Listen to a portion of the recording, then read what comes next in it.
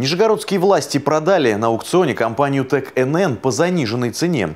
По словам экспертов, стоимость сделки в сумме 52 миллиона 700 тысяч рублей в десятки раз ниже реальной стоимости активов компании и затраченных ранее бюджетных денег. Две котельные, тепловые пункты, более 40 километров сетей. Почему целый комплекс, отапливающий большую часть Нижегородского района, продали по цене двух квартир в том же районе, комментирует зам главного редактора «Коммерсант Приволжья» Нижний Новгород Роман Кряжев оппозиции, которая у нас в ЗАГС собрании, она говорит, что цена это абсолютно не рыночная, что имущество стоит там от полутора миллиардов рублей и выше. Когда она строилась, эта котельная, в 2003, там, 2004, они в нее там вкладывались сотни миллионов рублей.